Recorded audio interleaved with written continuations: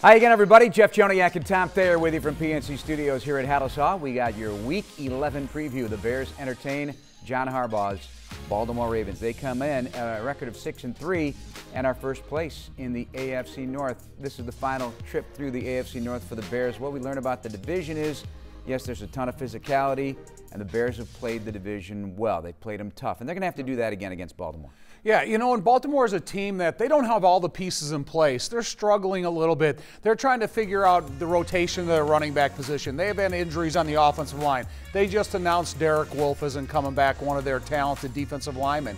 So, how do you compartmentalize all that, you still got to stop Lamar Jackson. That's the unique thing about this team, Jeff. You can have different players coming and going, but as long as they always have number eight, they're oh, yeah. still a threat. Heck of a matchup when you talk about young quarterbacks yeah. that can uh, yeah. make plays on the hoof, as they say. Uh, Justin Fields with great progress in that loss to Pittsburgh. I almost said win because five more yards, and you know Cairo Santos is right down the middle in a game-winning walk-off field goal. But what he did, and we've talked about it a lot already, just that second half performance in that environment, how loud it was, what was at stake, and leading a scoring drive that put them ahead and could have had the game winning drive to walk out of there with the fourth win of the year. Yeah, you know, when you think about what they did in the second half, it's unfortunate that they didn't have better field position at the start yeah. of the game, where maybe they could have changed the flow of the game, taken some more chances out of their own end zone. However, like you said, they came and went to the locker room, made some halftime adjustments, came back, and were able to perform at a really competitive level at the second half. But it's how do you take that after uh, a, team, a loss like that into a bye week and use it against your next opponent. And I think that's what we're all waiting to see on Sunday. Well, because more players are touching the football now, okay? Starting with tight end Cole Kmet. You have Jimmy Graham out there. Uh, Darnell Mooney getting used in a variety of ways, and you got the running game to lean on. That's the important part of this keep that going well. Keep that throttle going on the running game because it can set up everything else with the play action and Justin's mobility. Yeah, oh, I think Justin's mobility has kind of put him on the map now. Defensive coordinator saying, okay, we have to devise a scheme against Justin Fields, not necessarily of what the Bears used to be, it's what they're becoming. And I think he has such an important role in the future success of the Bears in terms of where they can go offensively. But again, it's nice to see when you mention the Wildcat. It looks like the old T formation when they got Khalil Herbert, Darnell Mooney, uh, Ryan Nall, and David Montgomery in the backfield. It gives you a variety of things you can do out of that formation and, you know, gives a little relief to Justin. Well, look how many times the Steelers use fly sweep and get the ball in the yeah. hands of these guys. It's as good as a, a, a 10 yard, 11 yard, 15 yard pass play if you stick it in the belly of the guy and you got some good blocking up front. So, what exactly is Justin Fields going to be looking at?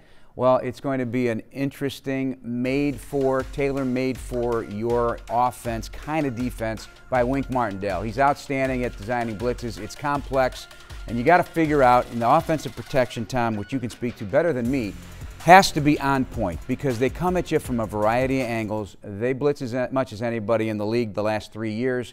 And so everybody's got to be in tune, not just the O linemen, the backs, the tight ends, everybody involved here, including Justin. Well, you know, I, I think you can devise a scheme that will take advantage of what your skill set is.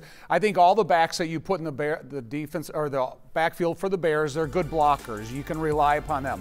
I think the tight ends give you a lot of versatility on the edge with their ability to block and then still go out for routes. Their offensive line is doing a nice job of making sure they're pointed in the right direction by center Sam Mustipher. But again, this defense goes to work every single day in training camp, and they see what Justin's going to offer them in the body of work that Lamar Jackson does in training camp. So they're not going to be caught by surprise because there's a quarterback with great versatility.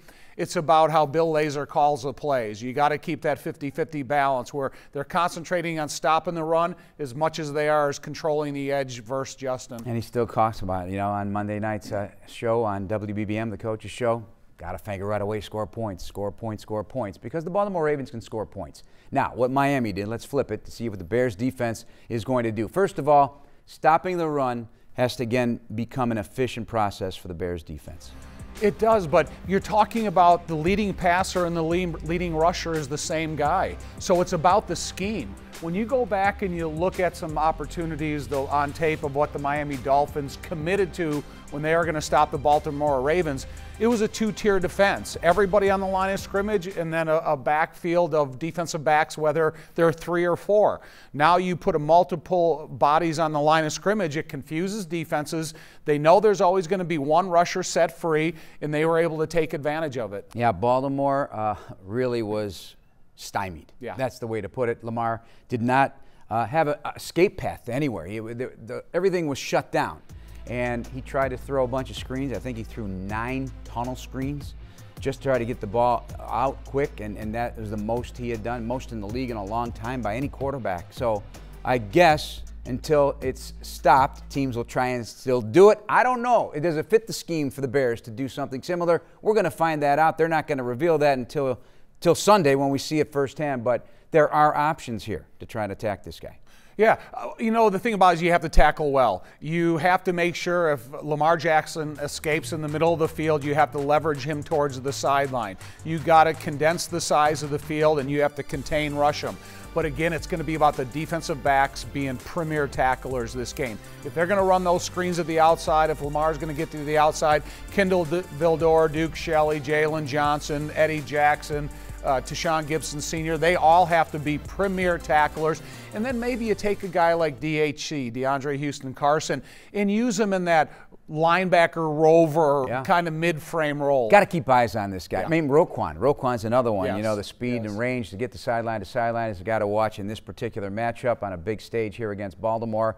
Uh, the Ravens have some weapons, though, too. Hollywood Brown, six touchdown catches.